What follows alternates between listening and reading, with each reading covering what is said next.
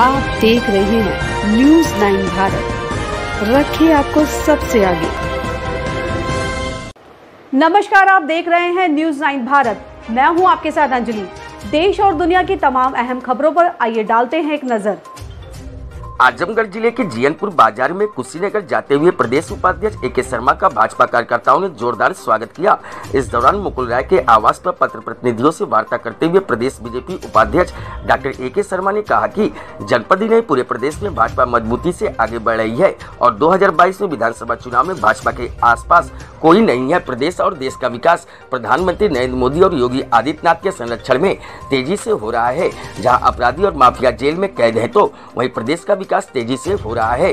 उन्होंने भाजपा कार्यकर्ताओं से कहा कि समय बहुत कम होने के कारण अभी से चुनाव में तेज़ी से जुट जाने को कहा और कार्यकर्ताओं को प्रत्येक बूथ को जीतने का गुरु मंत्र दिया।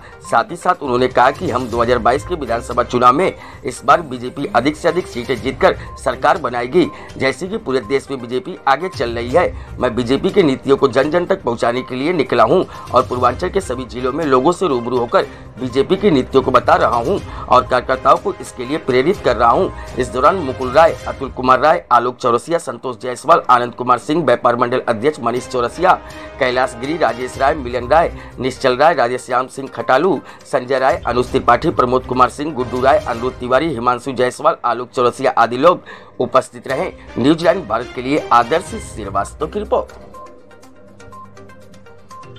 देवरिया में एक प्रबुद्ध सम्मेलन है। और अन्य भी कुछ कार्यक्रम हैं। लेकिन इस अवसर का लाभ लेते हुए पूर्वांचल के कई ज़िले जैसे कि आजमगढ़ का ये हिस्सा, सगड़ी जीएनपुर का ये भाग और भंवरनाथ से शुरू करके सगड़ी जीएनपुर का ये भाग।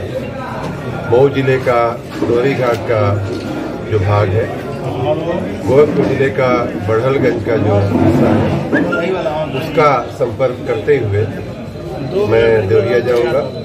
और कल वहाँ कई कार्यक्रम है देवरिया ज़िले में। देवरिया के इर्द गिर्द ही कई कार्यक्रम है। वहाँ उनके उनके, उन कार्यक्रमों में मैं भाग लूँगा।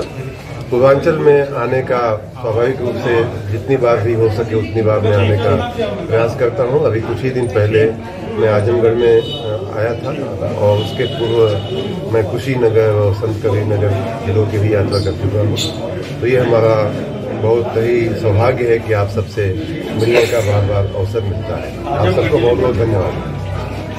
आजमगढ़ ज़िले में भारतीय जनता पार्टी इसके लिए भारतीय जनता पार्टी आजमगढ़ सहित पूरे राज्य में बहुत मजबूती की तरफ़ आगे बढ़ रही है बहुत मज़बूत है।